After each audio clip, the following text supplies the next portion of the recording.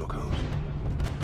You and I are bound together on a journey that will twist the very fabric of nature. Sherlock Holmes is a long and hard movie series that people love. From the books we read while in school to the movie, we are more than glad that the movie series is getting a renewal for the third time. Sherlock Holmes 3 was always a buzz around following the premiering of the second part in the huge displays. Sherlock Holmes, A Game of Shadows 2012. The show portrays Sir Arthur Conan Doyle literary character following the name. The first installation had broken the records hitting around $524 million and was outside in the year 2009. Sherlock Holmes was first released in 2009. The movie was an instant hit. A sequel for the movie was released in 2011. The action mystery film has received a lot of praise from all over the globe. Sir Arthur Conan Doyle has created the characters of the show. Michele Mulroney and Kieran Mulroney have written the movie. The movie received a lot of praise from critics as well. As for the third movie, it is the one that is in the air for too long now. We know of the production from very long ago,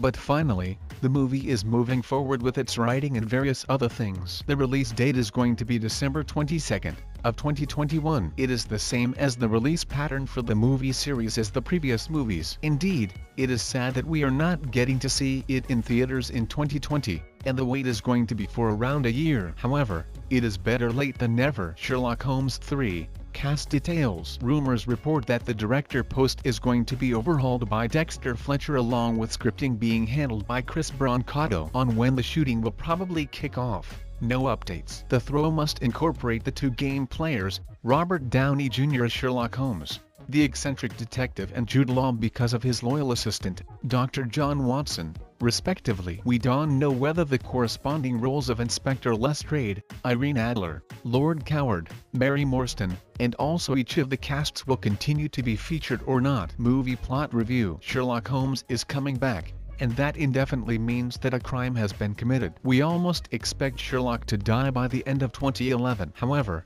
he does not open us to the possibilities of a third movie. As the franchise runs, the feud between Sherlock Holmes and Professor Moriarty continues. Therefore, in the third movie, we expect to see more of their claws against each other. To acquire a well-constructed up idea we will need to await the trailer and teaser release.